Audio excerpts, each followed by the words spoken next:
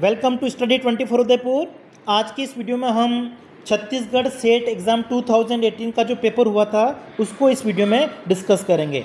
सबसे पहला प्रश्न देखिए, यदि मांग वक्र एक आयताकार अति परवलय है मतलब रेक्टेंगुलर हाइपरबोला है, और रेक्टेंगुलर हाइपरबोला अगर है तो जो इलास्टिसिटी है वो क्या होगी? इक्वल टू वन तो आपको आंसर इसमें कौन सा हो जाएगा? ऑप्शन डी मांग वक्र का आकार अगर आयताकार अति परवलय है रेक्टेंगुलर हाइपरबोला होता है, इस आकार का अगर होता है तो यहाँ पे जो इलास्टिसिटी है, वो क्या होती है? इक्वल टू वन क्योंकि ये दोनों जो एरिया होते हैं, वो क्या होंगे? बराबर. और इस स्थिति में क्या होगा?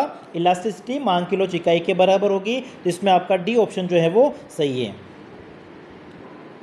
अगला है, वितरण के दक्षता वह बिंदु है जहाँ, ठीक है एफिशिएंसी ऑफ़ डिस्ट्रीब्यूशन की अगर हम बात करें तो दो व्यक्तियों के बीच में वस्तुओं का जो वितरण है, उसकी जो एम है, वो क्या होनी चाहिए? बराबर। एम आर एस दो वस्तुएँ माना कि एक्स और वाई हैं, ये ए व्यक्ति के लिए बराबर होने चाहिए। किसकी?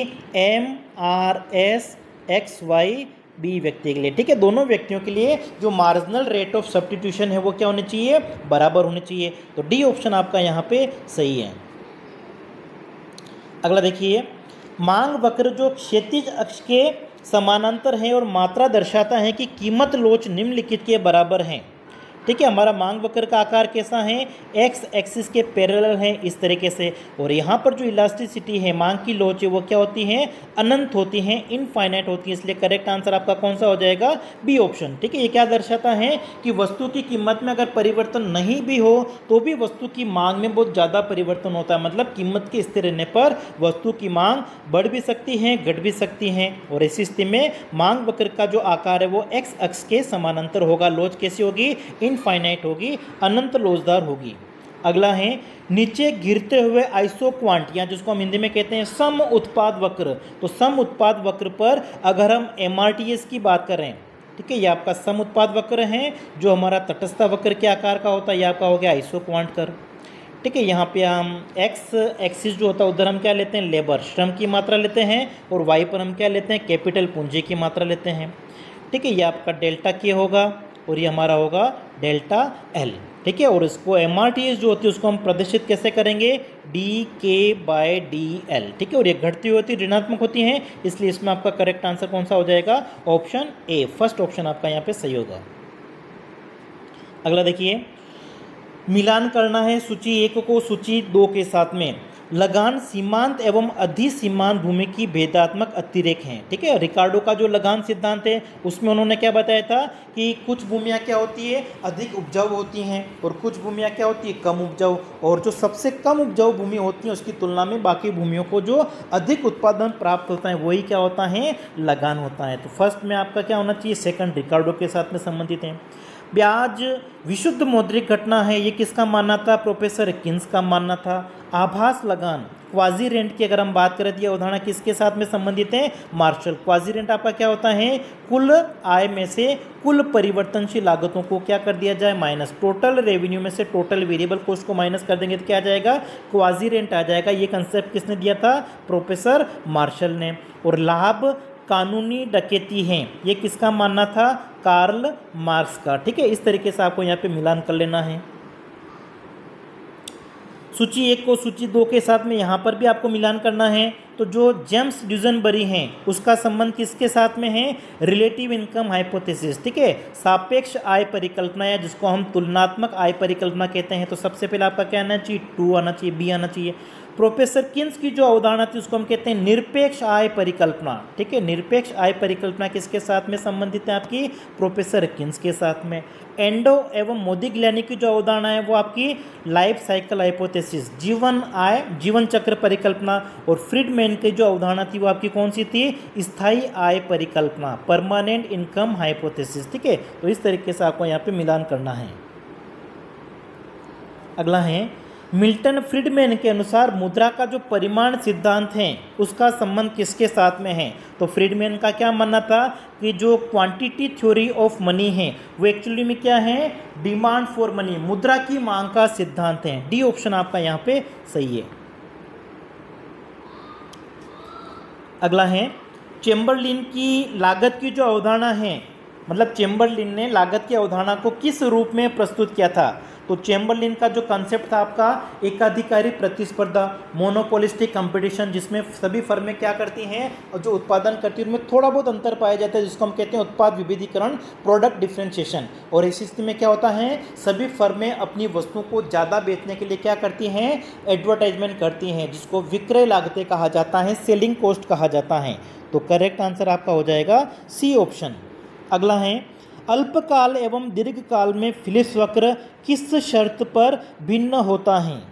ठीक है, उनके बीच में जो वेरिएबल होते हैं, उनके बीच में संबंधों के आधार पर क्या होगा, वो अलग होगा। बी ऑप्शन आपका यहाँ पे सही हो जाएगा। अल्पकाल की अगर हम बात करें तो अल्पकाल में जो फिलिस वक्र हमारा होता है, वो कैसा होता है? नीचे की ओर गिरता हुआ। ठीक है, जो क्या बताता है मुद्रास्फीति और बेरोजगारी की दर में विपरीत संबंध होता है। जबकि दीर्घकाल जो होता है, उसमें क्या होता है? फिलिस वक्र का आकार कैसा होता है? वाई अक्ष के पैरेलल होता है मतलब वर्टिकल होता है एक तरह से ये। इसको हम क्या कहते हैं इसमें कि मुद्रास्फीति और बेरोजगारी की दर में दीर्घ काल में कोई संबंध नहीं होता है। तो विभिन्न चरों के बीच में संबंध बरताता है ये, इसलिए आपका यहाँ पे ऑप्शन हो जाएगा बी अगला है लिप्से की फ्लिप्स वक्र की दृश्यमान वस्तु सिद्धांत की अवधारणा क्या है?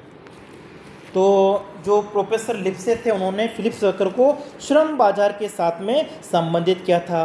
मतलब जो मौद्रिक मजदूरी होती हैं और बेरोजगारी की दर होती हैं, उनके बीच में उन्होंने संबंध को बताया था। 1960 में उन्होंने अपनी थ्योरी दी थी। तो ये यहाँ पे आप देखोगे आंसर कौन सा हो जाएगा?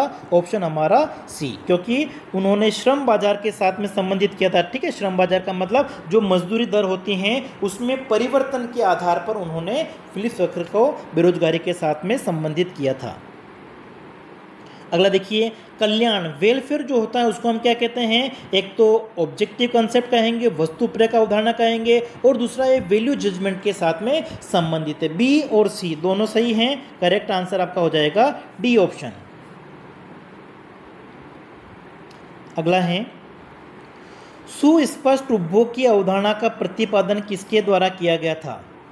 ठीक है, सुस्पष्ट उपभोग का मतलब क्या हो गया? मतलब ऐसी वस्तुओं का प्रयोग बढ़ाना, ऐसी वस्तुओं की मांग करना जो व्यक्तियों के सोशल स्टेटस को दर्शाती है। मतलब जो लग्जरी गुड्स होती हैं, उनका प्रयोग व्यक्ति क्या करता है? ज़्यादा करता है, जब कीमत क्या होती है? बढ़ती है, जो मांग के नियम का अपवाद है। तो ये किसने बताया था? प्रोफेसर वेबलन ने बताया था। डी ऑप्शन आपका यहाँ पे सही है। अगला है अर्थव्यवस्था को एक निश्चित प्रतिशत में बढ़ाने के लिए विनियोग कितना होना चाहिए, जो उसका पूंजी उत्पाद अनुपात है और राष्ट्रीय आय में जितनी वृद्धि होनी चाहिए, दोनों के गुणनफल के बराबर है। मतलब डी ऑप्शन आपका यहाँ पे सही है। नेक्स्ट है, एकाधिकार को नियंत्रित करने के लिए कौन सा अधिनियम पारित किया गया है? एमआरटीपी एक्ट कहा जाता है, ठीक है? एमआरटीपी एक्ट का उद्देश्य क्या है? एकाधिकार को नियंत्रित करना 1991 में आया था ये। अगला है सूची एक को सूची दो के साथ में आपको यहाँ पे मिलान करना है पी क्यू एल आई जीवन की भौतिक गुणवत्ता का जो सिद्धांत है जो अवधारणा है वो 1979 में डी मोरिस के द्वारा दी गई तो सबसे पहले तो आपका फ़र्स्ट आएगा। उसके बाद में देखिए, एच डी आई, मानव विकास सूचकांक है वो महबूबुल हक के द्वारा दिया गया था 1990 में, और भारतीय अर्थशास्त्री अमृत जो सेन हैं, उन्होंने भी इसका समर्थन किया था, फिर आएगा आपका थर्ड एशियन ड्रामा बुक जो है वो किसके द्वारा लिखी गई है? गुन्नार मिडल के द्वारा। और जो न्यू क्लासिकल ग्रोथ मॉडल है वो किसका है? प्रोफेसर सोलो का है। तो ये आपको इस तरीके से यहाँ पे मिलान करना है। अगला है निम्नलिखित में से राज्य की बढ़ती गतिविधियों का जो नियम है वो किसके द्वारा प्रतिपादित किया गया था? वाइजमैन और पिकोक के द्वारा ठीक है? वाइजमैन और पिकोक का जो सार्वजनिक व्यय का सिद्धांत उसको हम क्या कहते हैं? रा, राज्य की बढ़ती गतिविधियों का प्रति सिद्धांत कहते हैं। मतलब सरकार का जो खर्चा होता है, वो क्या होता है? निरंतर बढ़ता जाता है। इसमें आपको विस्थापन प्रभाव की जो अवधारणा है, वो भी साथ में पूछी जाती है। कभी कभी विस्थापन प्रभाव का जो संबंध है, वो भी किसके साथ में संबंधित आपका? वाइजमैन और पिको की अवधारणा के साथ में संबंधित है। अगला है, निम्नलिखित में से कौन सी कर पद्धति अधिक समान आय वितरण को प्रोत्साहित करती है? मतलब जैसे जैसे आय बढ़ती जाती है, आय अगर ज़्यादा हैं तो कर क्या लिया जाएगा? ज़्यादा लिया जाएगा। कम अगर आय हैं तो करों की दरें क्या होगी? कम होगी। मतलब इसको हम क्या कहते हैं? प्रोग्रेसिव टैक्स सिस्टम कहेंगे। प्रगतिशील कर प्रणाली। ठीक है, ये ऑप्शन आपका यहाँ पे सही होगा। अगला है, भारत में केंद्र सरकार की कुल कर राजस्व में किस कर का जो योगदान है वो सर्वाधिक है? अगर 2024-25 का अगर आप बजट देखोगे तो उसमें जो इनकम टैक्स हैं, ठीक है आय कर से प्राप्तियाँ ज़्यादा होने का अनुमान बताया गया है। ठीक है, बाकी अगर आप 2018 के पेपर इसके हिसाब से देखोगे तो पहले आपका क्या था? निगम कर था, ठीक है, लेकिन वर्तमान में सरकार ने बताया कि आय कर की जो प्राप्तियाँ हैं, वो निगम कर की तुलना में क्या है? ज़्यादा होगी, ठीक है 2024-25 का जो बजट उसमें जो अनुमान उसके आधार पर अगर आप देखा जाए तो। तो करंट के जो डेटा हैं, वो आपको अच्छे से अभी से याद करने हैं। अगला है, शुद्ध सार्वजनिक वस्तुओं का आवश्यक गुण होता है। ठीक है, शुद्ध सार्वजनिक वस्तुएँ क्या होती हैं? ऐसी वस्तुएँ जो सभी लोगों के द्वारा प्रयोग की जाती है, समुदाय के सभी लोगों के द्वारा उपभोग की जाती है। बिल्कुल सही है आपका। तो इसमें ए ऑप्शन जो लिखा हुआ है, वो सही है। उसके बाद देखिए ये एक तरह से क्या होती है नॉन राइवल होती है घेर प्रतिद्वंदी होती है, ये भी बिल्कुल सही है। और फिर इसके प्रयोग से, इन वस्तुओं के प्रयोग से किसी को वंचित नहीं कर सकते हैं, ये भी आपका सही है। नॉन एक्सक्लूडेबल भी होती है मतलब तीनों विशेषता इसमें पाई जाती हैं। ए बी सी इसका मतलब करेक्ट आंसर आपका हो जाएगा ऑप्शन सी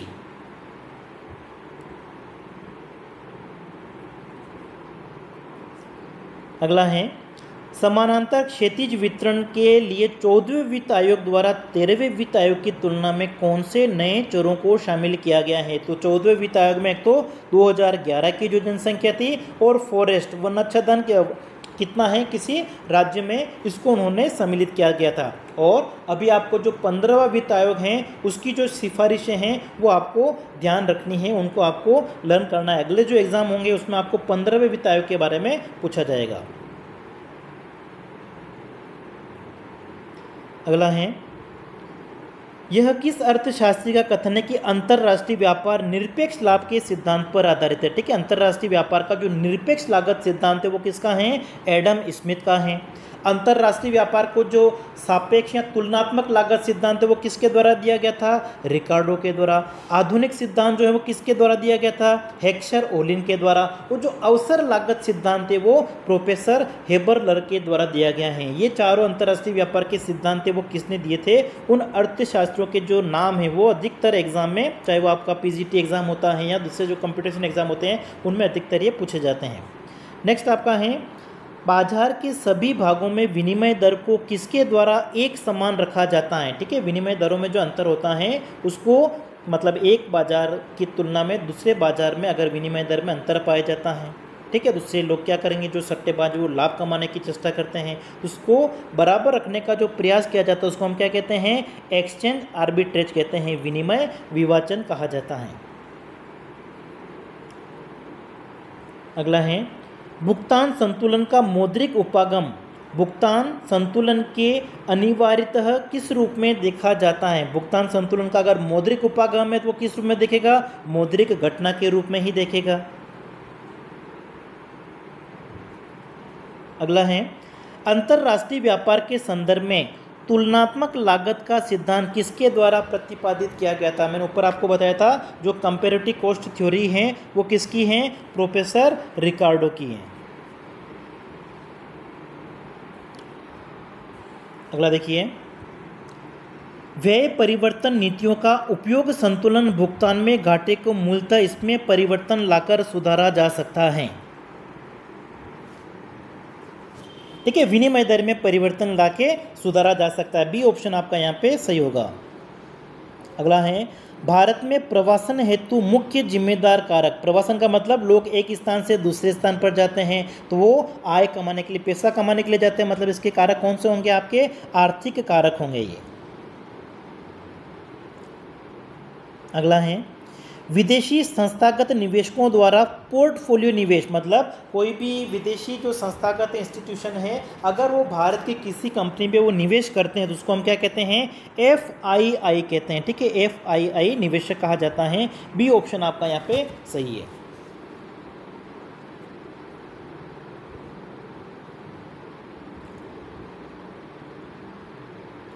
अगला है इसमें हमको सूची एक को सूची दो के साथ में सुमेलित करना है। तो सबसे पहले अगर हम शुद्ध घरेलू उत्पाद की बात करें तो शुद्ध घरेलू उत्पाद के लिए क्या किया जाएगा? जो जीडीपी है, उसमें से हम क्या करेंगे?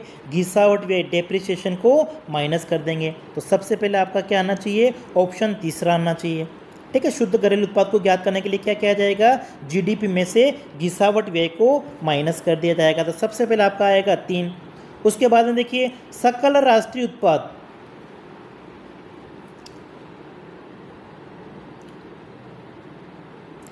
ठीक है सकल राष्ट्रीय उत्पाद क्या होगा इनमें से आपको? तो सकल राष्ट्रीय उत्पाद आपका क्या होगा?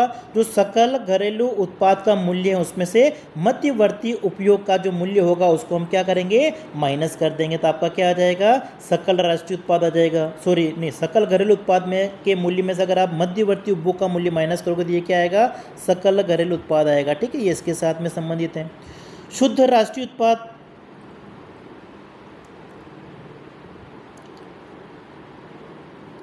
ठीक है, फिर आपका देखिए शुद्ध राष्ट्रीय उत्पाद हैं।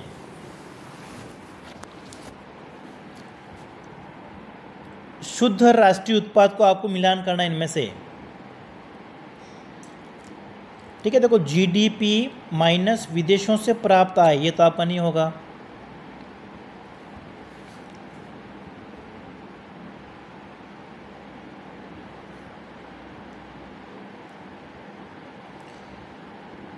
देखिए, ये सकल राष्ट्रीय उत्पाद है तो यहाँ पे थोड़ी मिस्टेक है ये। यहाँ पे आपका क्या होना चाहिए? प्लस होना चाहिए।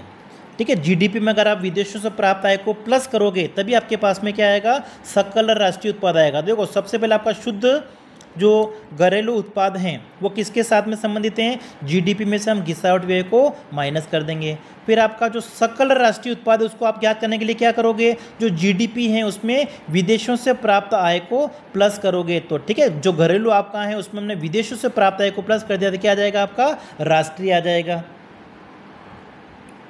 उसके बाद में जो आपका शुद्ध राष्ट्रीय उत्पाद हैं तो ये आपका क्या हो जाएगा? जीडीपी प्लस विदेशों से प्राप्त आय माइनस जो डेप्रिसिएशन है तो यह शुद्ध आ जाएगा आपका। और सकल घरेलू उत्पाद ज्ञात करने के लिए हम क्या करेंगे? जीडीपी में से गिसावट को माइनस कर देंगे, ठीक है? फिर यहाँ पे आ जाएगा और ये यहाँ पे आ जाएगा इस तरीके से। यहाँ पे थोड़ी मिस्टेक है, ये माइनस लिखा हुआ, यहाँ पे क्या होना चाहिए था? प्लस होना चाहिए था।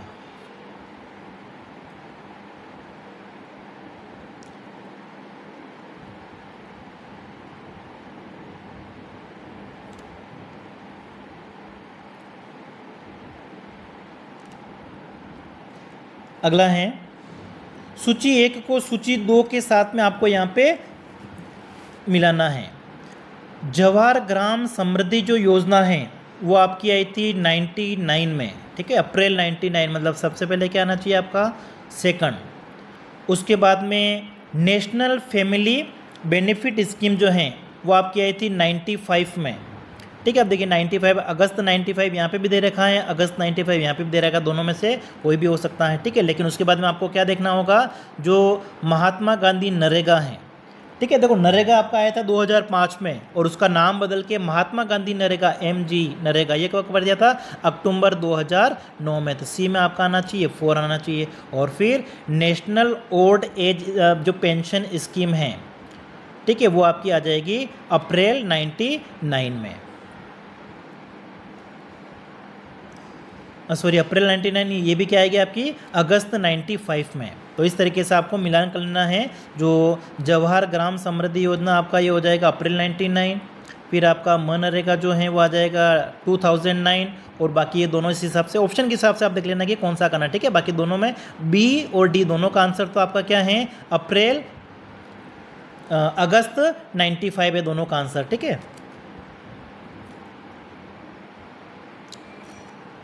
अगला देखिए, यदि एक सुरवाई दो स्वतंत्र चर हैं तो उनके बीच में सह प्रसरण क्या होगा? ठीक है, अगर स्वतंत्र चर उनके बीच में किसी प्रकार का संबंध नहीं तो प्रसरण भी क्या होगा? शून्य होगा।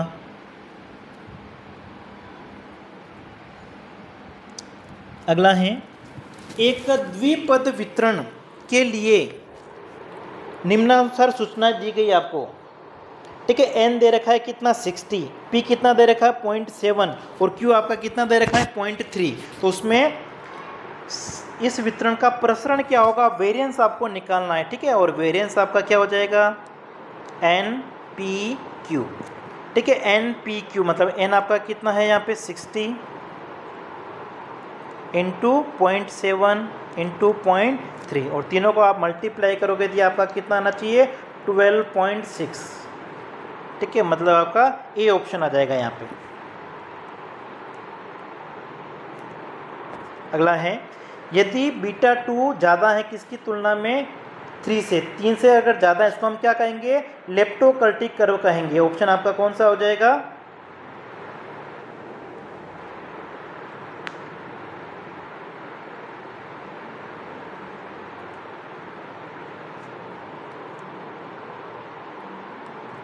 ठीक है, देखो आपका ये आकार, अगर इस तरीके से अपन वक्र बनाए, ये वक्र आपका क्या दर्शा रहा है? बीटा जो है वो तीन से ज़्यादा, और तीन से ज़्यादा इसको हम क्या कहेंगे? लेप्टोकर्टिक कहेंगे, ठीक है? लेप्टोकर्टिक मतलब ये हो जाएगा आपका ऑप्शन सी। ठीक है, केवल बी जो है वो क्या है? सही है। तो ये आपका होता है लेप्टोकर्टिक, जिसमें बीटा की जो वैल्यू है वो क्या होती है? तीन से ज़्यादा। ये आपका होता है मेसोकर्टिक, जो बीच में होगा, ठीक है? मेसोकर्टिक में बीटा की वैल्यू क्या होगी? Equal to three. और तीन से कम होती है, उसको आप क्या कहते हो? प्लेटोकर्टिक कहते हैं, ठीक है? जो जो सबसे नीचे बनाया ये आपका क्या है? Less than three. सबसे ऊपर जो आपका है, वो क्या है? Greater than three. Greater than three जो होता है, उसको हम कहते हैं लेप्टोकर्टिक। तो यहाँ पे लेप्टोकर्टिक, बीटा की जो वैल्यू है तीन से ज़्यादा है मतलब आपका ऑप्शन हो जाएगा इसमें सी। अगला है यदि निर्धारण गुणांक 0.12 है और एक प्रतिगमन गुणांक आपका क्या है, पॉइंट थ्री। तो दूसरे प्रतिगमन गुणांक का मूल्य, देखिए आपको पता होना चाहिए कि आर की जो वैल्यू होती है वो किसके इक्वल होती हैं? B X Y into B Y X B Y X का अंडर रूट ठीक है? और निर्धारण गुणांक आपका क्या होता है? इस कोरिलेशन का स्क्वायर मतलब ये आर स्क्वायर आपका जो है इसको हम क्या कहते हैं? कोफिशियंट ऑफ़ डिटर्मिनेशन निर्धारण गुणांक कहते हो। तो आर स्क्वायर की वैल्यू आपकी किसकी इक्वल हो जाएगी? B X Y into B Y X के इक्वल हो जाएगी।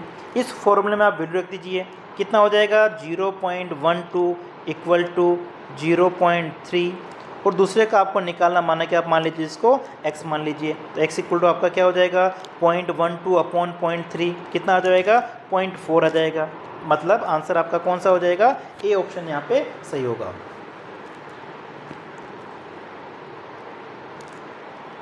अगला है two four zero sixteen thirty two का जामिति माध्य देखिए बीच में एक वैल्यू आ क्या आ ज़ीरो आ इसका मतलब इसका जो ज्योमेट्रिक मीन है वो क्या होगा?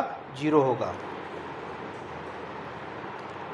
अगला है, एक बेग में सात लाल, बारह सफ़ेद और चार हरी गेंदें। तो बैग में से एक गेंद निकल जाती है, उसके सफ़ेद होने की प्रायिकता देखो, सफ़ेद गेंदें कितनी हैं? ट्वेल्व। और कुल गेंद कितनी हैं? सात प्लस बारह प्लस चार। ठीक है, सात और बारह उन्नीस, तेईस twenty three twelve upon twenty three मतलब ए ऑप्शन आपका यहाँ पे सही होगा।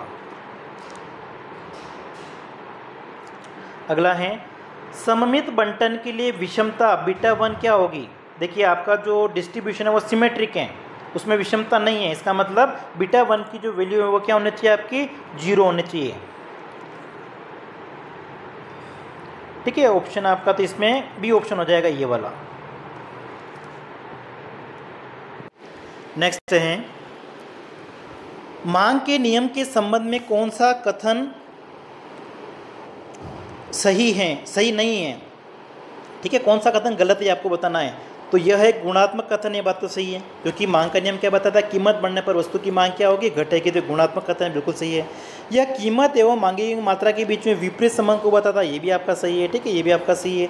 यह मांग में प्रतिशत परिवर्तन को स्पष्ट करता है। नहीं, ये गलत लग रहा है, ठीक है? प्रतिशत परिवर्तन को नहीं बताता। ये क्या बताया केवल कि कीमत में परिवर्तन से मतलब कीमत बढ़ेगी तो मांग घटेगी, लेकिन कितना परिवर्तन होगा उसको हम किसके द्वारा देखते हैं? इलास्टिसिटी, ठीक है? मांग की कीमत लोच के द्वारा। तो यहाँ पे मांग के नियम के संबंध में कौन सा कथन सत्य नहीं है? सी ऑप्शन आपका यहाँ पे सही है। अगला है, मांग वक्र का बाई और शिफ्ट होना, ठीक है? ये हमारा डिमांड कर्व है। ये हमारा सप्लाई कर्व है, ये संतुलन होता है। अगर डिमांड कर्व जो है वो लेफ़्ट वर्ड शिफ्ट हो जाए मतलब इधर तो इसका मतलब ये क्या दर्शाता है? मांग में कमी decrease in demand D option आपका यहाँ पे सही होगा। अगला है, किसी वस्तु को उत्पादन फलन आपको यहाँ पे दे रखा है। इस सूचना के आधार पर बताइए कि निम्न में से कौन सा फलन रिटर्न टू स्केल मतलब जिस अनुपात में उत्पादन के साधन को हम बढ़ाएँगे, अगर इनको हम दुगुना कर देंगे, उत्पादन भी क्या हो जाएगा? दुगुना। इसका मतलब ये जो किसको दर्शा रहा है? उत्पादन के स्थिर प्रतिफल को दर्शाता है ए ऑप्शन। अगला है, मांग बराबर एट माइनस पी और आपूर्ति आपकी क्या है? Four plus P. इस स्थिति में समतुल्य कीमत तथा मात्रा क्रमशः क्या होगी? ठीक है तो देखिए यहाँ पे आप निकाल लीजिए four plus P. Equal to क्या है? Eight minus P. ठीक है तो माइनस पी को आप इधर ले, कितना हो जाएगा? P plus P, two P हो जाएगा।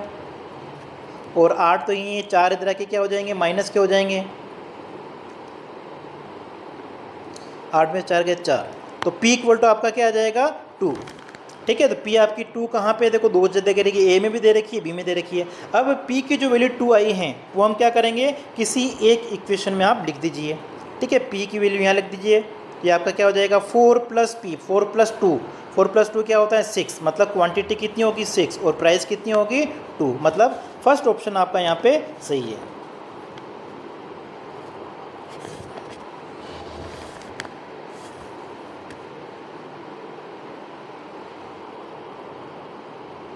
अगला है, निम्नलिखित अभिग्रहितों के में किस गुण धर्म से पता लगता है कि उपभोक्ता के उदासीन वक्र एक दूसरे को नहीं काट सकते हैं? ठीक है, ये आपकी हो जाएगी, ये दोनों मान्यताएँ।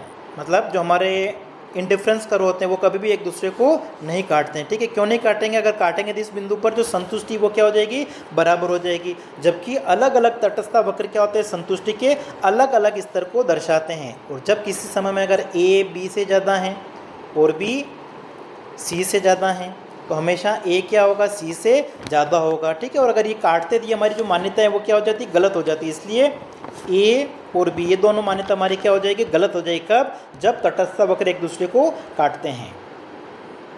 तो इसमें आपका आंसर कौन सा हो जाएगा? Option D.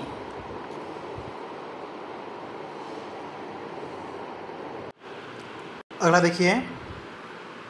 सीमांत लागत वक्र जो आपका होता है ठीक है, सीमांत कीमत वक्र यू आकार का होता है। यू आकार मतलब लागत जो होती है वो पहले क्या होती है? घटती हैं और फिर क्या होती हैं? बढ़ती हैं। तो सीमांत लागत वक्र यू आकार का होता है। ये हमारा अभिकथन है, बिल्कुल सही है। तो दूसरा क्या दे रखा साथ में? उत्पादन क्षेत्र में परिवर्तनशील समानुपाता का नियम जो है वो क्रियाशील रहता है। मतलब लॉ ऑफ़ वेरिएबल प्रोपोर्शन की वजह से क्या होता है? सीमांत लागत वक्र का आकार यू आकार का होता है। बिल्कुल सही है। ठीक है, लागतें पहले घटती और फिर क्या होती हैं? बढ़ती हैं, उसका रीज़न क्या है? लॉ ऑफ़ वेरिएबल प्रोपोर्शन तो यहाँ पे करेक्ट आंसर आपका कौन सा हो जाएगा? ऑप्शन ए अब देखिए, लेकिन जो आपकी आंसर की हैं, उसमें बी ऑप्शन को सही मान रखा है, ठीक है? बाकी होना क्या चाहिए? इसमें आपका फ़र्स्ट ऑप्शन सही होना चाहिए।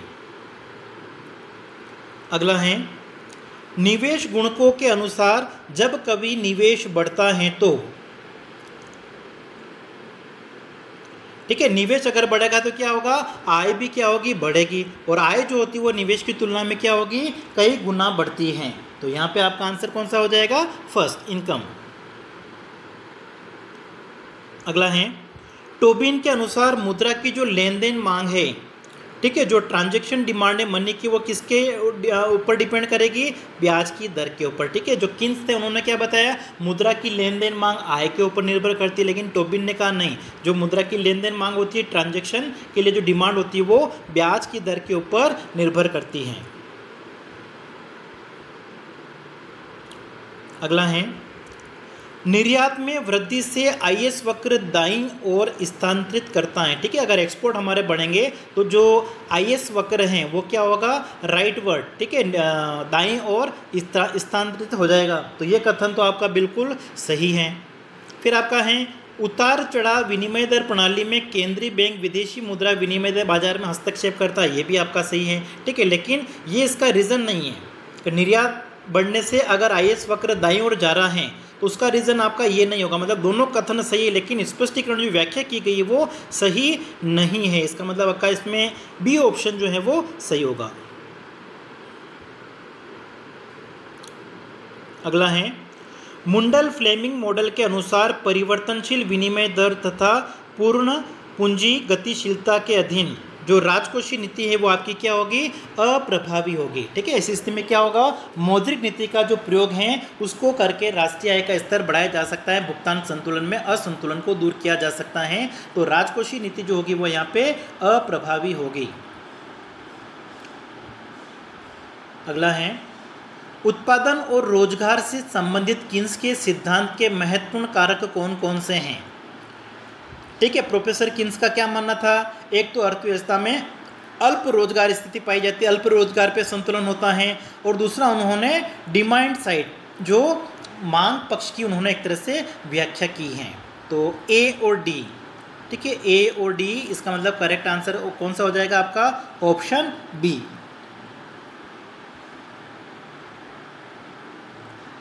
नेक्स्ट देखिए। सीमांत उपभोग प्रवृत्ति के संबंध में कौन सा कथन सही नहीं है? सीमांत उपभोग प्रवृत्ति का मूल्य हमेशा धनात्मक होता है, बिल्कुल सही है। ठीक है, सीमांत एम से जो होगी वो हमेशा क्या होगी? धनात्मक होगी। शून्य से अधिक होगी, ये भी बिल्कुल सही है। शून्य से अधिक होगी, इसका मतलब वो क्या होगी? धनात्मक होगी। और सीमांत उपभोग प्रवृत्ति बढ़ती है, जैसे जैसे आय बढ़ती है। ठीक है, आय बढ़ने के साथ में सीमांत उपभोग प्रवृत्ति क्या होगी? घटेगी। और निर्धन लोगों की जो सीमांत उपभोग प्रवृत्ति वो अमीर लोगों की तुलना में ऊँची होती है, बिल्कुल सही है। तो यहाँ पे पूछा था कौन सा कथन सही नहीं है तो करेक्ट आंसर आपका हो जाएगा सी ऑप्शन अगला है, किन्स के निवेश गुणक का सूत्र क्या है? ठीक है, निवेश गुणक इन्वेस्ट मल्टीप्लायर को हम ऐसे ले सकते हैं के equal to one upon one minus M P C यहाँ one upon M P S भी लिख सकते हैं। तो यहाँ पे आपका बी ऑप्शन सही है। अगला देखिए, उपभोग से संबंधित जीवन चक्र की परिकल्पना के अनुसार उपभोग का जो संबंध है, वो किसके साथ में है? ठीक है जीवन चक्र परिकल्पना में अगर हम देखें तो लोगों द्वारा जो उपभोग किया जाता है, वो उपभोग किसके ऊपर निर्भर करेगा? कि लोगों के द्वारा अपने संपूर्ण जीवन में कितनी आय कमा सकता है? आय कमाने की क्या प्रत्याशा है? ठीक है, जीवन की आय प्रत्याशा कितनी है? डी ऑप्शन यहाँ पे सही है। नेक्स्ट देखते हैं। फ्रीडमैन के अनुसार निम्न में से किस पर मुद्रा का परिसंचरण निर्भर करता है? ठीक है, मुद्रा का जो संचलन वेग होता है velocity of circulation of money जो होती है, वो किसके ऊपर डिपेंड करेगी? ठीक है, एक तो बॉन्ड्स की ब्याज दर के ऊपर निर्भर करेगी, सामान्य कीमत स्तर में परिवर्तन पर भी निर्भर करेगी, और निवेश से बचत आय अनुपात। इन तीनों के ऊपर निर्भर करेगी। अगला है मुद्रा सृजन मल्टीप्लायर न्यूनतम आरक्षित अनुपात का विलोम के बराबर होता है। ये आपका अभिकथन दे रखा है। ठीक है, बिल्कुल सही है, विलोम रूप से संबंधित होगा। मतलब आरक्षित अनुपात अगर ज़्यादा होगा तो मुद्रा जो गुणक है वो उसका मूल्य क्या होगा? कम होगा। तो विपरीत रूप से संबंधित हैं। और फिर एक पूर्ण बैंकिंग प्रणाली अपनी अतिरिक्त रिज़र्व के बराबर की राशि न्यू क्रेडिट के लिए ग्रांट कर सकता है। ठीक है? दोनों यहाँ पे सही लग रहे हैं? आंसर आपका हो जाएगा ए ऑप्शन नेक्स्ट देखिए। तीव्र आर्थिक विकास की प्राप्ति के प्रकरण में विकासशील देशों द्वारा की जाने वाली विदेशी सहायता पूंजी अथवा विदेशी उदार पूंजी के संदर्भ में द्वि अंतराल विश्लेषण, ठीक है? द्वि, जो आपका द्वि अंतराल विश्लेषण, वो एक तो बचत निवेश अंतराल और दूसरा आपका विदेशी व्यापार मतलब आयात निर्यात अंतराल के बराबर होगा। ए ऑप्शन आपका यहाँ पे सही है।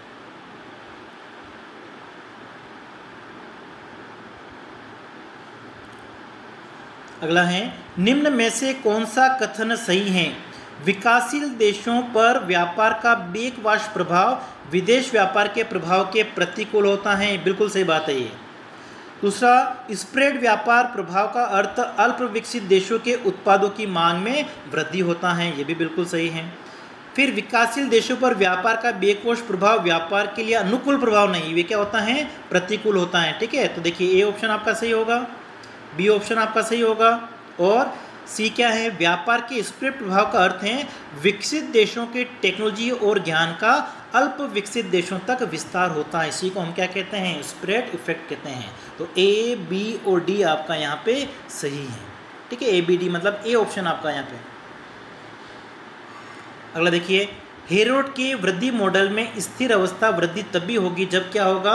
आपका जी ए जी डब्ल्यू और जी एन क्या होते हैं? बराबर होते हैं। जिसमें जी ए आपको क्या दर्शाता है? एक्चुअल ग्रोथ रेट क्या है? ठीक है? वास्तविक वृद्धि दर को दर्शाता है। जी डब्ल्यू आपका क्या दर्शाएगा? वारंटेड वृद्धि दर को दर्शाएगा। और जी एन आपकी प्राकृतिक जो नेचुरल ग्रोथ रेट होती है, उसको दर्शाता है।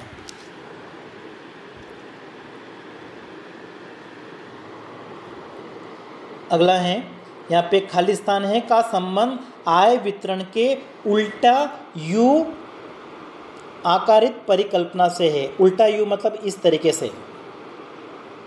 आय वितरण के बारे में अगर हम देखें तो जैसे जैसे किसी देश का विकास होता है, प्रारंभ में क्या होता है, जो प्रति व्यक्ति आय वो क्या होती है, बढ़ती हैं। या आय की जो असमानता होती है, वो पहले पहले क्या होती है, बढ़ती हैं और फिर क्या होती हैं, घटती हैं। तो ये जो अवधारणा है वो किसके साथ में संबंधित है? साइमन कुजनेट्स के साथ में संबंधित है। स्वायत्त निवेश अवलंबित होता है। ऑटोनोमस इन्वेस्टमेंट की अगर हम बात करें तो ये आपकी इनकम है, आय और इसके सामने कैसा बनता है? पैरेलल बनता है ठीक है? मतलब आय के ऊपर निर्भर नहीं करता है। जो स्वायत्त निवेश होता है वो किसके ऊपर निर्भर करेगा? आ, किसी देश में जो पॉपुलेशन ग्रोथ रेट है जनसंख्या वृद्धि दर श्रमिक की वृद्धि दर क्या इनोवेशन हुआ इनके ऊपर निर्भर करेगा?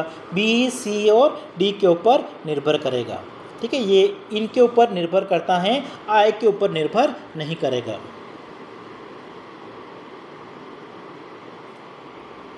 अगला है राष्ट्रीय स्तर पर एक चोटी की कोऑपरेटिव संगठन है, जो चयनित कृषि उत्पादों का समारण, विस्तरण, निर्यात एवं आयात करती हैं। ठीक है, आपका हो जाएगा option C, national agriculture cooperative marketing federation of India. अगला है, ग्यारहवीं पंचवर्षीय योजना अवधि में केंद्रीय सरकार के कर राजस्व की प्रवृत्ति सकल घरेलू उत्पाद के प्रतिशत के रूप में क्या हुई थी? उसमें घटती हुई थी। बी ऑप्शन आपका। अगला है, भारत में सार्वजनिक व्यय के कुशल प्रबंधन के लिए गठित उच्च स्तरीय विशेषज्ञ समिति के अध्यक्ष कौन नियुक्त किए गए थे? ठीक है, सार्वजनिक व्यय का कुशल प्रबंधन किया जाए, इसके जो अध्यक्ष थे वो कौन थे? रंगराजन।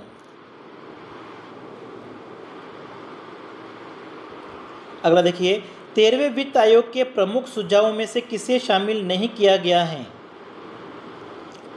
ठीक है, तेरहवें वित्त आयोग का आपके आगामी एग्ज़ाम के लिए किसी प्रकार का इंपॉर्टेंट नहीं होगा, लेकिन वित्त आयोग की जो सिफारिश है वो आपकी थी 2010 से 2015 के लिए, ठीक है, तेरहवें वित्त आयोग की। चौदहवें वित्त आयोग की आपकी थी 2015 से 20 की अवधि के लिए, जिसको बाद में एक साल के लिए बढ़ाया गया था, और जो आपका पंद्रह वित्त आयोग है, उसकी सिफारिश आपकी दो हज़ार इक्कीस से छब्बीस तक के लिए है।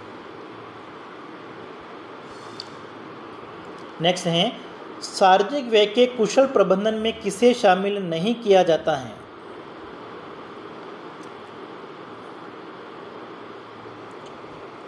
ट्रेजरी प्रणाली को लागू करना, ठीक है, ये आपका शामिल नहीं किया जाएगा।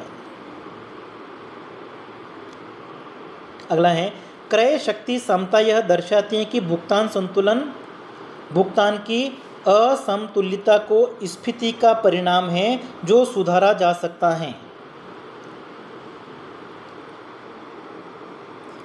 ठीक है विदेशी विनिमय दर की कीमत में वृद्धि के उसी प्रतिशत मतलब उसमें आपका ऑप्शन हो जाएगा D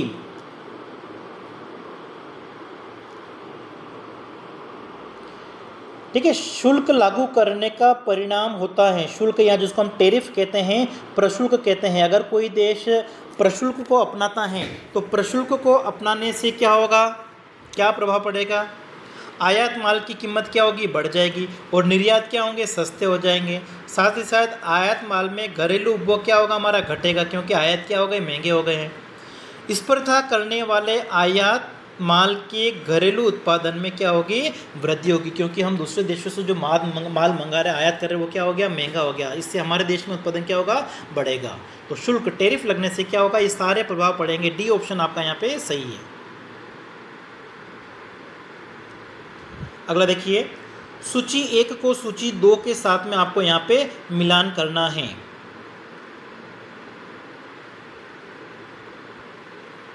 I B R D ठीक है? विश्व बैंक की अगर हम बात करें।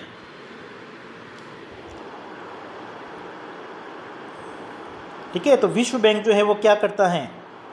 ठीक है? वो निर्माण कार्यों के लिए एक तरह से क्या होगा? आधारभूत जो हमारे निर्माण कार्य हैं उनके लिए वो धन उपलब्ध कराता है। तो बिल्कुल सही, आपका ए के सामने क्या आना चाहिए?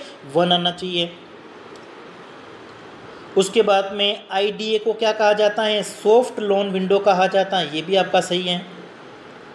IFC holding to private sector को बैंक देने का काम करता है और आईएमएफ क्या करता है? किसी देश का भुगतान संतुलन बैलेंस और पेमेंट में अगर डेफिसिट है, घाटा है तो उसको सुधार करने के लिए ऋण देता है। मतलब जो ऑप्शन आपके लिखे हुए ना, क्रम से लिखे हुए सही है वो बिल्कुल।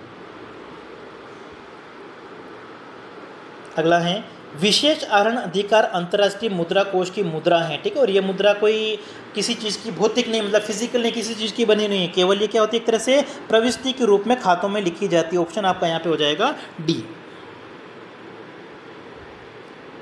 अगला यहाँ पे सूची एक को सूची दो के साथ में मिलान करना है। ठीक है डब्ल्यूटीओ सामान्यतः व्यापार पर मात्रात्मक उपयोग के प्रतिबंधों को रोकता है। यह आना चाहिए आपका थ्री आईएमएफ ठीक है, अंतर्राष्ट्रीय मुद्रा कोष क्या करता है? अभी हमने ऊपर देखा था, किसी देश का भुगतान संतुलन अगर असंतुलन की स्थिति में है तो उसको सुधार लाने के लिए ऋण देता है। आईडीए को क्या कहा जाता है? सॉफ्ट लोन, खिड़की। ठीक है, ये आपका हो जाएगा। और फिर ट्रांस पेसिफिक पार्टनरशिप, व्यापार समझौता।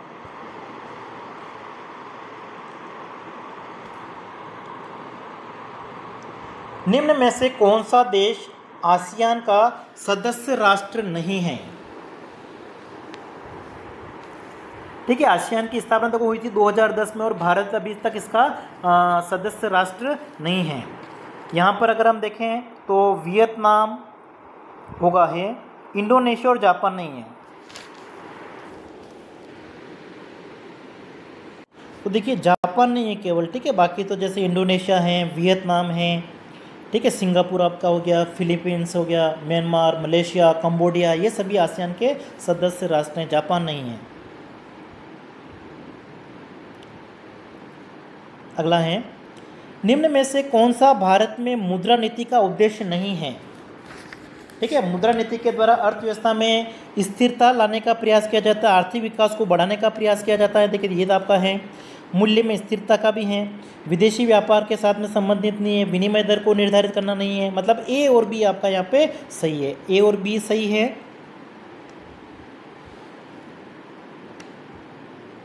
ठीक है, लेकिन ए और बी तो आपका ऑप्शन नहीं है।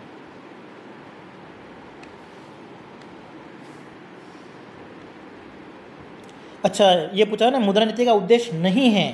ए और बी तो हैं, ठीक है? सी और डी उद्देश्य नहीं है। ये क्वेश्चन थोड़े से ध्यान से आपको यहाँ पे देखना। तो सी और डी मतलब सी और डी, सी और डी मतलब ऑप्शन आपका हो जाएगा सी, ठीक है? कौन सा मुद्रिक नीति का उद्देश्य नहीं है? ये पूछा हुआ था।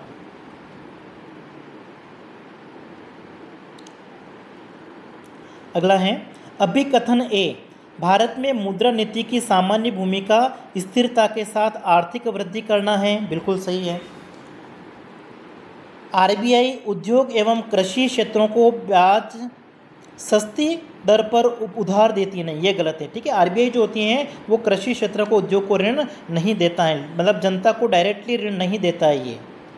तो यहाँ पे आपका केवल ए सही है, ठीक है? ए सही है, इसका मतलब ऑप्शन आपका कौन सा हो जाएगा? सी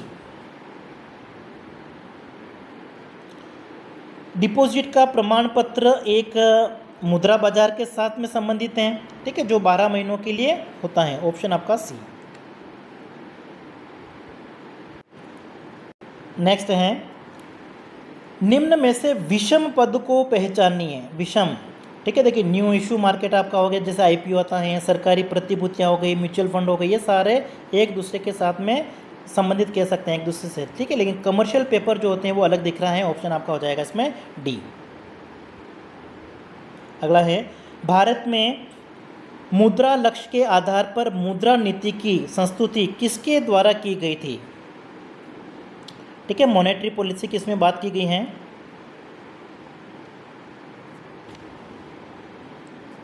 तो ये आपका चक्रवर्ती समिति होनी चाहिए, ठीक है ऑप्शन आपका इसमें बी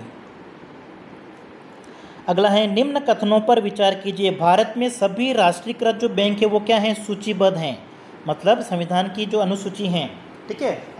ये बैंकों की जो अनुसूची है द्वितीय रिज़र्व बैंक की अनुसूची है, उसमें सम्मिलित हैं। बिल्कुल सही है आपका। फिर, भारत में सभी सूचीकृत बैंक, राष्ट्रीयकृत बैंक है। नहीं, ये गलत होगा, ठीक है? यहाँ पे आपका पहला ऑप्शन ही सही है। ठीक है? रिज़र्व बैंक की जो अनुसूची है, उसमें शामिल हैं राष्ट्रीयकृत बैंक। सभी राष्ट्रीयकृत बैंक एक सूचीगत है तो मतलब फ़र्स्ट ऑप्शन आपका यहाँ पे सही है। ठीक है? इसमें आपका हो जाएगा ए ऑप्शन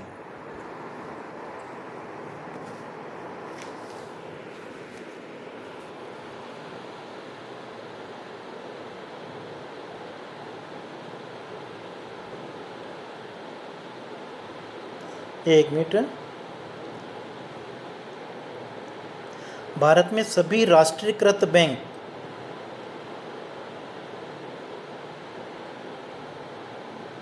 मैंने एक गलत लगा दिया ठीक है? पहला कथन सही है, ए सही है, इसका मतलब आपका कौन सा ऑप्शन हो जाएगा? बी ऑप्शन आपका सही होगा, ठीक है? कथन एक सही है और कथन दूसरा जो हमारा वो क्या है? गलत है। वापिस है। अब भी कथन है उदार व्यापार नीतियों के पश्चात भारत में आर्थिक वृद्धि में तेज़ी आई है, ठीक है? 1991 में भारत में जो उदारीकरण की नीति अपनाई गई थी, उसके बाद में आज जो ग्रोथ हमारी है, वो बड़ी है, बिल्कुल सही है। निजी उद्यम को भारत के विनिर्माण उद्योग में वृद्धि में सहयोग का मौका मिला है। तो ये कथन भी आपका सही है मतलब दोनों कथन जो आपको दे रखे हैं, वो सही दे रखे हैं। तो ऑप्शन आपका हो जाएगा इसमें ए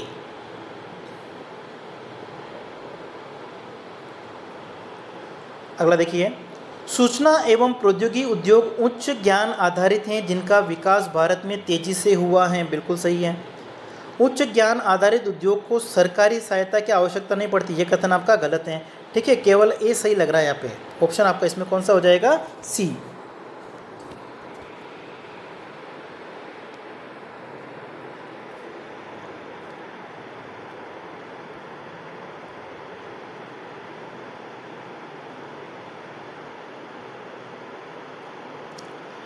ठीक है फिर देखिए आपको सूची एक को सूची दो के साथ में मिलान करना है। पूंजी बाज़ार का जो नियमन है, वो किसके द्वारा किया जाता है? सेबी के द्वारा। तो ये आ जाएगा आपका सेबी। फिर आपका सेबी यहाँ पे। ठीक है, तीसरा आएगा सबसे पहले। सेलेक्टिव क्रेडिट कंट्रोल, ये आरबीआई की जो मॉनेटरी पॉलिसी है, उसका एक उपकरण है। फिर राजकोषीय नीति, ठीक है, संतुलित बजट के साथ में संबंधित हैं और औद्योगिक नीति जो है वो फेमा कानून के साथ में संबंधित है। इस तरीके से आपको यहाँ पे मिलान करना है। फिर अगला है, वित्त आयोग के अध्यक्षों को काल क्रमानुसार बढ़ते हुए क्रम में लिखना है। तो देखिए, सबसे पहला जो वित्त आयोग आया था 1951 में, ठीक है, उसके अध्यक्ष कौन थे? के सी नियोगी। तो सबसे पहले आपका क्या आना चाहिए? सी। और सी कहाँ पे दे रखा है? देखो ए और बी ऑप्शन में दे रखा है। और उसके बाद में अगर हम देखें, रंगराजन, केलकर और रेड्डी।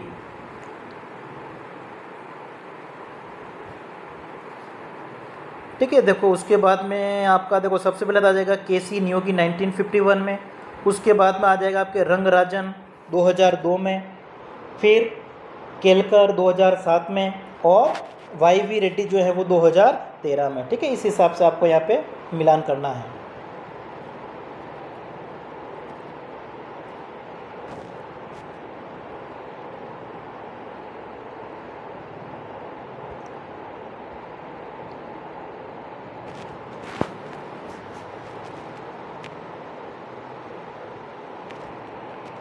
अगला देखिए, निम्नलिखित को काला क्रमानुसार में सजाइए। चौदह बैंकों का जो राष्ट्रीयकरण हुआ था, वो कब हुआ था आपका? 1969 में। एसबीआई का राष्ट्रीयकरण कब हुआ था? 1955 में। आरबीआई का राष्ट्रीयकरण कब हुआ था? नेशनलाइजेशन ऑफ़ आरबीआई, कब हुआ था यहाँ पर 1949 में।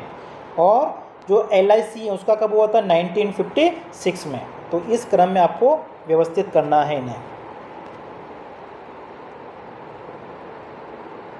अगला है यदि अप्रैल 2016 के लिए उपभोक्ता सूचकांक आपका कितना है? 120 और अप्रैल 2017 में कितना हो गया? 126 तो तो मुद्रास्फीति की दर में कितने प्रतिशत वृद्धि हुई है? देखिए, पहले 120 था और हो गया 126 तो परिवर्तन कितना हुआ? छः का। अपॉन, पहले कितना था? 120 मल्टीप्लाई कर दो इसको किससे? 100 से। 20 100 में 20 का डिवाइड कर दो, कितना आ जाएगा? 5 5 परसेंट मतलब ये ऑप्शन आपका यहाँ पे सही है।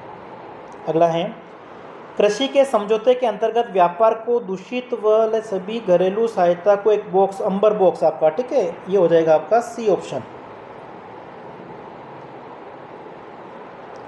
अगला है, भारत जैसे श्रम आधिक्य वाली अर्थव्यवस्था में बढ़ती हुई जनसंख्या के लिए खाद्य अधिक का प्रावधान किया जाना चाहिए, बिल्कुल सही है।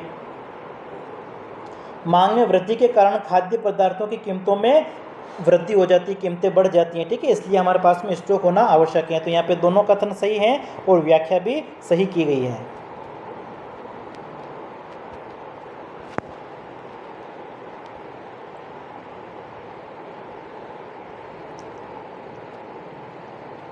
अब यहाँ पे सूची एक को सूची दो के साथ में आपको मिलान करना है। तो प्रधानमंत्री फ़सल बीमा योजना कब आई थी? 2016 में।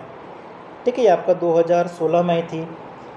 फिर उसके बाद में महात्मा गांधी राष्ट्रीय ग्रामीण रोज़गार गारंटी कार्यक्रम आपका, ठीक है, ये आपका आया था 2005 में आया था। उसके बाद में राष्ट्रीय कृषि विकास योजना।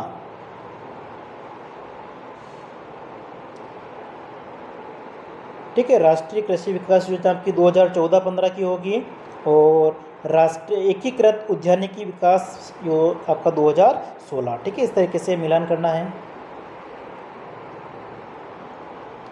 कृषि साख प्रदान करने वाली संस्थाओं को अंशदान के आरोही क्रम में व्यवस्थित कीजिए।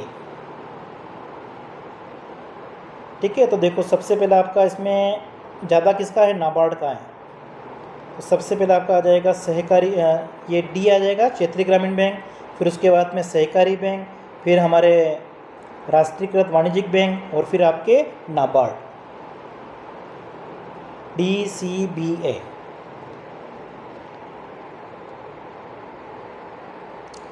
औद्योगिक नीतियाँ एवं अधिनियमों को उनके वर्ष के आधार पर व्यवस्थित करना है।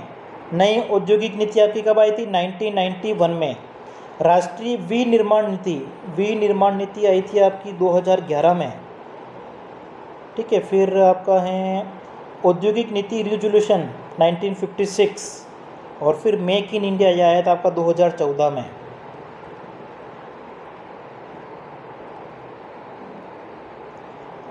अगला है R equal to zero point eight R के मूल्य ज़ीरो पॉइंट चार की अपेक्षा दो गुनी निकटता इंगित नहीं करता है। बिल्कुल सही, दो गुनी इंगित नहीं होगा। दुगुना इससे कोई मतलब नहीं है, ठीक है? ये पॉइंट एट है और ये पॉइंट फोर इसका मतलब ये ऐसा नहीं है कि ये डबल है। संबंधों की निकटता वाई के अनुपातिक न आर के अनुपातिक नहीं होती है। बिल्कुल सही है। दोनों आपके सही है यहाँ पे।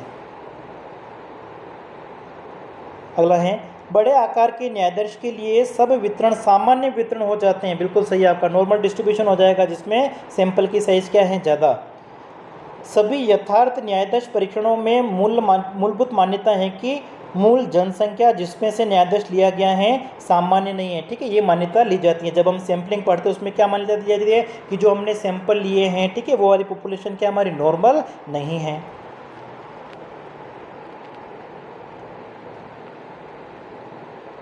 समग्र वितरण तब उपस्थित होता है जब जनसंख्या प्रत्येक मूल्य का अध्ययन किया जाता है। बिल्कुल सही है, ठीक है? इसको हम सेंसस कह सकते हैं। इसके माध्य एवं प्रमा वितरण का पूर्ण ज्ञान होता है। बिल्कुल सही है आपके दोनों। ठीक है करेक्ट आंसर आपका हो जाएगा ऑप्शन ए नेक्स्ट है, प्रतिस्थापन की सीमांत दर को गणनावाचक उपयोगिता के सकल अवकलन द्वारा ज्ञात की जा सकती है। ठीक है, ज्ञात कर सकते हैं। ठीक है एम आर एस को कैसे ज्ञात किया जाएगा? जो आपका एम यू एक्स है। ठीक है एम यू वाई है। इसको अवकलन के द्वारा ज्ञात कर सकते हैं। बिल्कुल सही है हमारा। और उपभोक्ता के समान उदासीनता वक्र पर गमन का अवकलन क्या होता है? शून्य होता है। Movement of consumer along the same differential curve ठीक है, एक ही वक्र पर अगर मूवमेंट हो रहा है तो इसका जो अवकलन होगा, वो आपका क्या होगा? शून्य होगा। ठीक है, बिल्कुल सही है दोनों। अगला है लागत फलन C equal to four X cube minus nine X square plus ten X plus ten दिए हुए हैं। औसत लागत निकालने तो औसत लागत निकालने के लिए क्या करो? ये जो आपका इक्वेशन है, इन सब में हम क्या करेंगे? एक्स का डिवाइड कर देंगे। तो देखो फोर एक्स क्यूब की जगह क्या आ जाएगा? फोर एक्स स्क्वायर आ जाएगा। फिर नाइन एक्स स्क्वायर की जगह नाइन एक्स आ जाएगा। टेन एक्स की जगह टेन आ जाएगा और टेन की जगह एक्स आ जाएगा। मतलब जो औसत लागत आपकी होगी वो कौन सी होगी? फोर्थ ऑप्शन में लिखी हुई है। फिर औसत लागत का ढाल निकालना तो आप क्या करोगे? इसका अवकलन कर देंगे, ठीक है? ये जो हमारी औसत लागत, इसका हम क्या कर देंगे? अवकलन। तो अवकलन क्या हो जाएगा आपका? क्यूब हो जाएगा, ठीक है? इसकी जगह। अच्छा अवकलन करेंगे तो फोर एक्स स्क्वायर भी हो जाएगा। एट एक्स हो जाएगा सबसे पहले। एट एक्स आना चाहिए मतलब देखो, एक निकाला आपने अवकलन, उसी से पता चल जाएगा ये आपका क्या होगा? औसत लागत वक्र का ढलान होगा। सीमांत लागत निकालने, सीमांत लागत निकालने के लिए क्या करेंगे? हम ये जो कुल लागत, उसका अवकलन करेंगे। तो फोर एक्स क्यूब का अवकलन क्या हो जाएगा? तो four into three twelve X square रहना चाहिए सबसे पहले तो देखो ये रट ठीक है? तो ये आपका क्या हो जाएगा? सीमांत लागत। और सीमांत लागत का ढाल निकालना है तो ये जो सीमांत लागत है, इसका आप क्या करोगे? अवकलन करोगे। तो ट्वेल्व एक्स स्क्वायर क्या होगा? ट्वेंटी फोर एक्स होगा। अट्ठारह एक्स का क्या होगा? अट्ठारह और दस का क्या होगा? ज़ीरो। ठीक है? इस तरीके से आपको यहाँ पे मिलान करना है। अगला है, जन्म दर का अर्थ एक वर्ष में प्रति लाख व्यक्तियों पर जीवित बच्चों की संख्या से नहीं होता है। ठीक है, जन्म दर का संबंध जो होता है वो किससे होता है? प्रति एक हज़ार जनसंख्या पर जीवित बच्चों की संख्या से होता है। तो पहला, ये तो आपका गलत हो गया। भारत में लिंगानुपात का आशय प्रति हज़ार पुरुष जनसंख्या पर स्त्रियों की संख्या से है। तो ये तो आपका सही है। ठीक है, केवल बीस सही है। फिर सकल पुनरुत्पादन दर जी आर आर ज्ञात करने का जो सूत्र है, इनमें से क्या है? ठीक है, इन दोनों सूत्र से ज्ञात कर सकते हैं ए और बी अगला है 2001-2011 की अवधि में भारत की जनसंख्या बढ़ी बिल्कुल सही है, और इस अवधि में मृत्यु दर में कमी आई ये भी बिल्कुल सही है। अगला है, वैश्विक अर्थव्यवस्था के अंतर्गत वर्तमान समय में किसमें प्रमुख परिवर्तन हो रहा है? ठीक है, ये ए बी सी तीनों में। अगला है, निम्नलिखित को मुद्रास्फीति दर बढ़ते हुए क्रम में व्यवस्थित कीजिए। ठीक है, रेंगती हुई में पाँच प्रतिशत से या दो, तीन प्रतिशत की वृद्धि होती है। चलती हुई में आपकी पाँच से दस होती हैं। पाँच से दस प्रतिशत तक कीमतों में वृद्धि होती है। दौड़ती हुई में दस से बीस प्रतिशत और बीस प्रतिशत से ज़्यादा को कहते हैं अति स्फीति। तो इस हिसाब से आपको क्रम देखना है।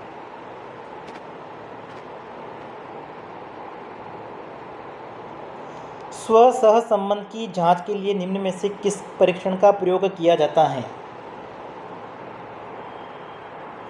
ठीक है, डी ऑप्शन आपका यहाँ पे। फिर आपका है कुर्नो ड्यूपोली मॉडल उत्पादन के सीमांत कीमत को क्या मानता है? शून्य। और उसका जो प्रतिद्वंदी है, वो अपने उत्पादन को स्थिर बनाए रखेगा, ये माना जाता है। ठीक है बी ऑप्शन आपका यहाँ पे सही है। अगला है, विनिमय दर का ब्रेटेन वुड सिस्टम कब आया था? 1944 में। ठीक है, और उसमें कुछ परिवर्तन किया जा सकता है, ऐसा माना जाता है। ठीक है एडजस्टेबल होता है। नीतियों के वे कौन से गुच्छ हैं जिनका कुछ समय पूर्व आरआरबी के संदर्भ में उपयोग हुआ था? ठीक है, ये दोनों ए और बी और फिर अंतिम प्रश्न है, उत्तर आर्थिक सुधार काल के दौरान भारत के कृषि कुल विदेशी निवेश में व्यापक उतार चढ़ाव देखा गया, जिसका मुख्य कारण क्या है? ठीक है मुख्य उतार चढ़ाव का कारण क्या है? जो विदेशी पोर्टफोलियो है उसमें निवेश में उतार चढ़ाव दिखता है। बी ऑप्शन आपका यहाँ पे सही होगा।